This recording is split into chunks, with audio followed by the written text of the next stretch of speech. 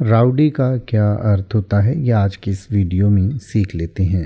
Rowdy का अर्थ होता है गुंडा, उपद्रवी व्यक्ति, झगड़ालू व्यक्ति या बखेड़िया व्यक्ति।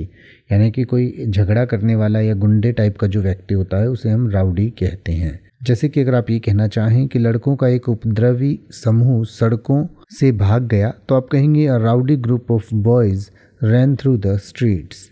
Rowdy group of boys ran through the streets. या अगर आप ये कहना चाहें कि बैठक कुछ हद तक उपद्रवी थी तो आप कहेंगे, the meeting was a somewhat rowdy affair.